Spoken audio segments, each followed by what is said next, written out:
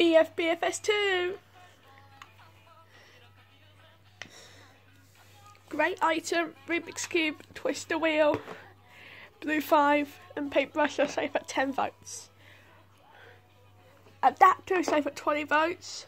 Paper cutout is safe at 35 votes. White string is safe at 46 votes. Saw, black wristband and the McDonald's toy are safe at 50 votes. Blue wristband is safe at 60.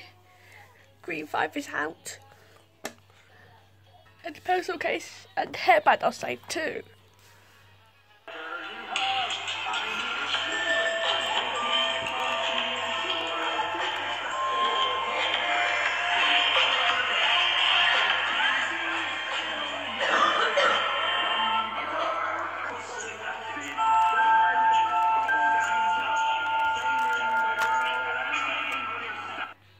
Team Joe loses again.